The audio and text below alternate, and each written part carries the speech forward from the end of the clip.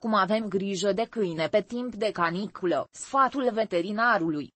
Cum avem grijă de câine pe timp de caniculă, recent vremea ne-a adus o adiere de vară. Planificăm vacanțe și călătorii lungi, în care decidem din ce în ce mai des să ne luăm cu noi câinele. Cu toate acestea, pe timp de caniculă, animalele noastre de companie necesită îngrijire specială pentru a fi în siguranță la temperaturi ridicate. Acest lucru poate duce la modificarea planului curent al zilei. Deci, cum să îți planifici plimbările zilnice și ce ar trebui să iei cu tine în călătoriile lungi? Cea mai lungă plimbare din timpul zilei ar trebui să fie planificată dimineața sau seara, când căldura este cel mai puțin împovărătoare pentru câinele nostru. Celelalte ieșiri ar trebui să fie cât mai scurte posibil. Amintește-ți că efortul fizic crește riscul supraîncălzirii. Prin urmare, antrenamentul intensiv ar trebui să fie limitat în timpul verii. Traseul plimbărilor noastre ar trebui, de asemenea, să fie bine gândit. Asigură-i câinelui cât mai multă umbră posibil. Suprafețele de asfalt se încălzesc foarte tare în lumina directă a soarelui și apoi se răcesc foarte încet.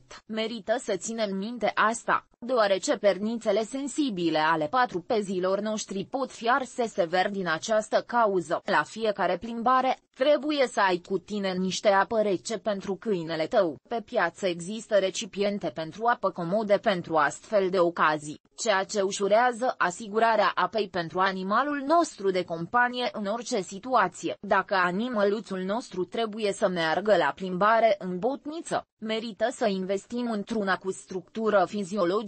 Îi va permite câinelui să bea fără să o scoată, iar principalul său avantaj este că permite gâtfânitul. Câinii transpire doar foarte puțin în jurul pernițelor labelor, iar metoda lor de răcire este prin eliberarea intensivă de căldură, împreună cu vaporii de apă prin sistemul respirator. Din acest motiv, utilizarea așa numitelor botnițe veterinare în timpul plimbărilor, adică cele care strâng botul de jur împrejur, sunt periculoase pentru sănătatea și viața patrupedului. Ce rase de câini sunt mai predispuși la supraîncălzire? Unii câini sunt deosebit de vulnerabili la efectele negative ale razelor solare. Trebuie să li se acorde o atenție deosebită puilor, seniorilor, precum și animalelor bolnave și obeze. Câinii de talie mică se supraîncălzesc mult mai repede decât câinii mai mari, de aceea, toate măsurile de precauție sunt deosebit de importante pentru ei. Înainte de perioada de vară, patru pezii noștri cu păr lung ar trebui să fie tunși mai scurt,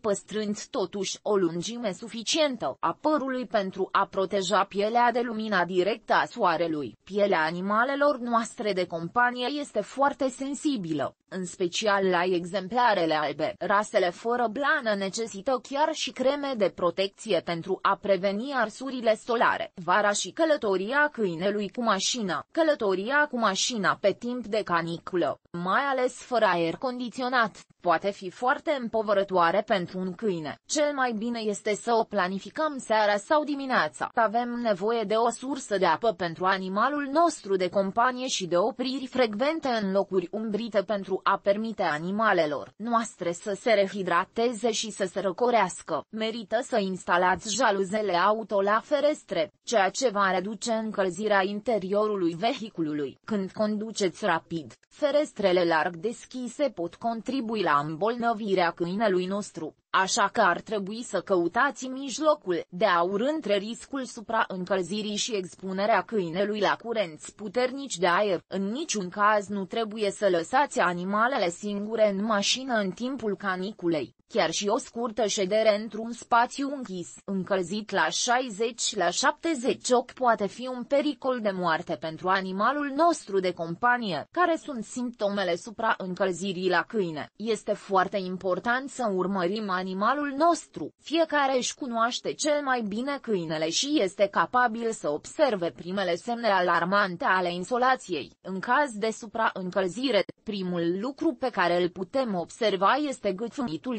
intens și respirația rapidă, în mod evident mai superficială decât de obicei. Câinele vrea să scape de excesul de căldură în acest fel, dar este o metodă mult mai puțin eficientă decât transpirarea. De asemenea, se accelerează ritmul cardiac și, după examinarea membranelor mucoase, putem observa uscăciunea și schimbarea culorii lor. Acestea sunt adesea gri sau albastre. În acest caz, trebuie să duceți câinele într-un loc răcoros cât mai repede posibil și să începeți să-i răcoriți treptat corpul. Dacă patrupedul este conștient, îi dăm apă rece. Dacă este inconștient, așezați-l astfel încât gâtul să fie drept pentru a facilita respirația. Udăm câinele cu apă călduță, nu rece ca gheața, pentru a evita șocul termic. Apoi, câinele răcorit în prealabil trebuie transportat imediat la cel mai apropiat medic veterinar pentru asistență profesională. Păstrând măsurile de precauție corespunzătoare, ne putem bucura de vremea frumoasă de vară împreună cu animalul nostru de companie. Cu toate acestea, trebuie să supraveghem întotdeauna comportamentul patrupedului și să nu subestimăm riscul supraîncălzirii